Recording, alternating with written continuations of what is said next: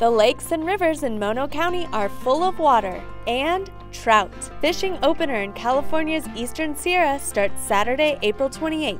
For fishing reports and a free fishing map, go to monocounty.org.